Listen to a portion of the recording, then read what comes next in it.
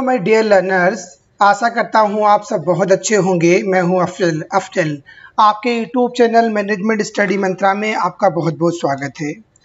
दोस्तों, इस वीडियो में हम डिस्कस करेंगे मार्केटिंग मायोपिया के रिगार्डिंग राइट कि बेसिकली मार्केटिंग मायोपिया क्या होता है, इसके रिगार्डिंग डिस्कस करेंगे। एक छोटा सा कंसेप्ट पर बहुत इंपॉर्टेंट कंसेप्ट है। तो बेसिकली देखते हैं कि जो मार्केटिंग मायोपिया है, वो क्या होता है? मार्केटिंग आपने ऑलरेडी सुना होगा मायोपिया एक इलनेस होती है टाइप की बीमारी है। ये बीमारी किस प्रकार की है? शॉर्ट शॉर्ट साइटेडनेस की बीमारी होती है। इसमें आप दूर दृष्टि आपकी अप्रोच नहीं होती है। इसमें आप पास का देख सकते हो और आप दूर का नहीं देख सकते जैसे हमने एक जो इलनेस थी, उसको बारे में पढ़ा था मायोपिया तो वहीं से कंसेप्ट लिया गया है कि मार्केटिंग मायोपिया इसमें क्या होता है? जो कंपनी है या जो ऑर्गेनाइजेशन है बेसिकली वो क्या करती है? पास का तो देख रही है, अपने फ्यूचर के लिए नहीं देख रही, उसके पास एक दूरदृष्टि सोच नहीं है राइट तो वो मार्केटिंग मायोपिया कहलाती है। तो इसमें आप कह सकते हैं कि जो इसको देखते हैं, यहाँ पर रीडिंग करते हैं इसकी थ्यूडोर लेविड है, ये जो ऑथर थ्यूडोर लेविड इन्होंने इस कंसेप्ट को दिया था। Editor of journal Harvard business review was the first the coin the theory उन्होंने सबसे पहले इस थ्योरी को क्वाइन किया था marketing myopia. A well known term in the marketing world, ये मार्केटिंग वर्ल्ड में बहुत ही वेल नोन टर्म है। It was actually the little of his marketing research paper which was first publish in 1960 in the same Harvard journal जो Harvard का journal है, उसमें ये पब्लिश हुआ था 1960 में इस कंसेप्ट को दिया गया था। The myopic culture Levitt postulated world pave the way for the business to fall due to the short sightedness ये कीवर्ड आपको ध्यान रखना short sightedness mindset and illusion that of firm is is in a so called growth industry इसमें basically यही बताया गया कि एक शॉर्ट साइटेड साइटेडनेस माइंडनेस होती है एक टाइप की बीमारी है तो ऐसे बिज़नेस आप ऐसे चीज़ें देख रहे हो कि जो आपके पास है उन पर ही आप फोकस कर रहे हो। आप फ्यूचर के लिए नहीं आपके अंदर दूर uh, दृष्टि सोच नहीं है आपके पास। They believe lead to uh, complacency and the loss of sight of what customer wants. It is said uh, that those people focus more on the original product and refuse to adopt directly the needs and the wants of the customer. इसमें basically क्या होता है जो customers की need है या जो customers की डिज़ायर है या उसकी जो वांट्स हैं उसके अकॉर्डिंग हम अपने प्रोडक्ट्स को मैन्युफैक्चर नहीं कर रहे हैं उसके अकॉर्डिंग हम प्रोडक्ट्स में चेंजेस नहीं कर रहे हैं। तो उस कंडीशन में क्या होता है कि बहुत सारे कस्टमर जो होते हैं आपका जो प्रोडक्ट से लेना परचेज लेना नहीं चाहते हैं। तो कंपनी बेसिकली कस्टमर्स को देख के प्रोडक्ट्स नहीं बना रही उसके अकॉर्डिंग वो चीज़ें अडॉप्ट नहीं कर रही है उसको रिफ्यूज़ कर देती है। To continue growing, company must ascertain and act of their business customer and uh, customers' need and desire, not bank on the presumed longevity of the product तो बेसिकली ये बताया गया इसमें क्या करती है? जो कंपनी है राइट वो कंटिन्यू ग्रो नहीं करती। इस प्रकार की कस्टमर्स की नीड को आइडेंटिफाई करे, उनके डिज़ायर को आइडेंटिफाई करे, या वो क्या चाहते हैं उनको आइडेंटिफाई करे लॉन्ग टर्म के लिए।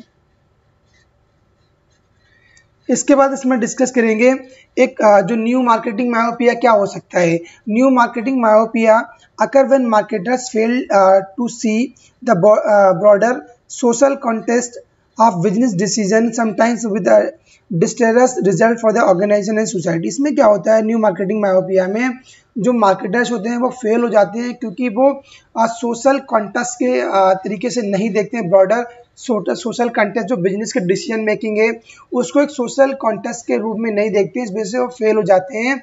क्योंकि उनकी जो सोसाइटी है उस पर फोकस नहीं कर रहे हैं और ऑर्गेनाइजेशन का क्या रिज़ल्ट है उस पर फोकस नहीं कर रहे हैं। It stems for the three और related phenomena basically three phenomena में होता है। Single minded focus on the customer to the exclusion of other stake holder यहाँ पे क्या होता है? न्यू मार्केटिंग मायोपिया में खाली सिंगल जो माइंडेड फोकस करते हैं कस्टमर्स पे।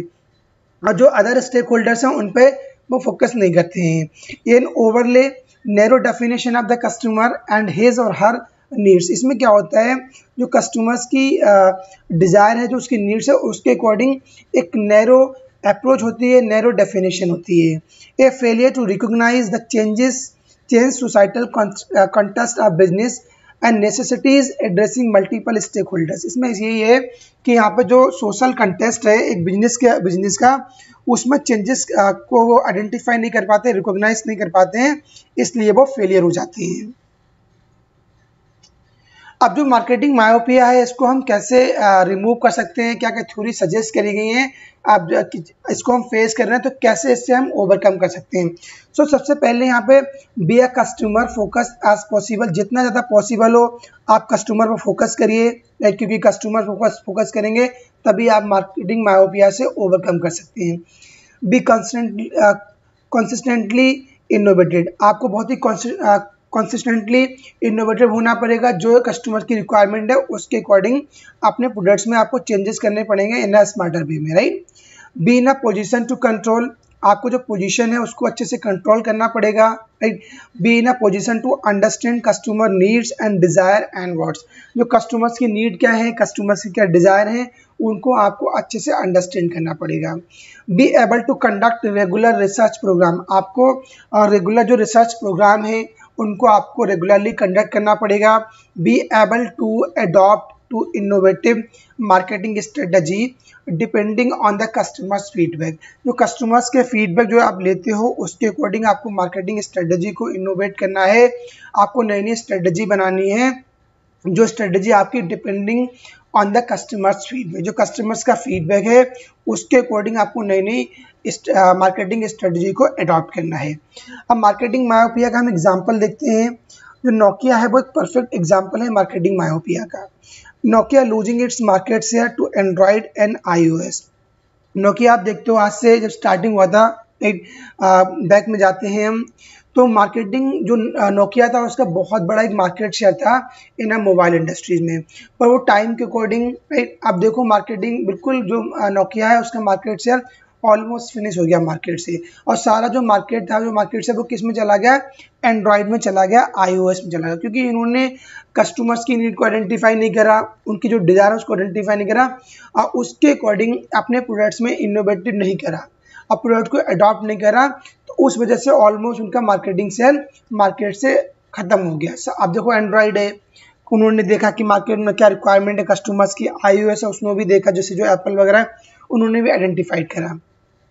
ऐसे एक बहुत ही बेस्ट एग्ज़ाम्पल है Kodak Kodak losing its market share to the Sony camera when digital camera boomed and Kodak didn't plan क्योंकि सोनी जो था सॉरी जो कोडेक था कोडेक का जो कैमरा आता था ओल्ड कैमरा था, उसमें वो रील्स वगैरह पड़ती थी, आप फ़ोटो क्लिक करती थी। पर जो सोनी आया सोनी एक डिजिटल कैमरा लेके आया तो उस वजह से उसने पूरा मार्केट जो शेयर था, वो कोडेक का ले लिया। पर कोडेक ने ये नहीं देखा कि कंपटीशन है कस्टमर्स की क्या रिक्वायरमेंट है कस्टमर अब कैमरे में रील डालना नहीं चाहते हैं, वो एक डिजिटल तरीके से पेन ड्राइव लगाओ और ट्रांसफ़र करो। उस प्रकार के वो चाहते क्योंकि कस्टमर्स की रिक्वायरमेंट थी तो उन्होंने डिजिटल कैमरा फोकस नहीं करा कोडेक ने तो उनका मार्केट शेयर ऑलमोस्ट खत्म हो गया। सोनी ने उसे कैप्चर कर लिया। अब सोनी के जो मार्केट शेयर वो भी हल्के हल्के मार्केट से रिमूव हो रहा है कि बहुत सारी अलग अलग कंपनीज़ आ रही हैं जो और कस्टमर्स की नीड को आइडेंटिफाई कर रही हैं, उनकी डिज़ायर को आइडेंटिफाई कर रही हैं। अब इसका एक एग्जांपल आप और ले सकते हैं Hollywood Hollywood didn't tap into television market it was only focus in the moving market जिसे आप देखते हो कि जो हॉलीवुड है, उसका जो टेलीविज़न मार्केट है, वो इतना अच्छा नहीं है। इतना उन्होंने मार्केट कैप्चर नहीं करा, जबकि उन्होंने क्या करा है, जो मूवीज़ हैं, उनका बहुत ज़्यादा फोकस किया है।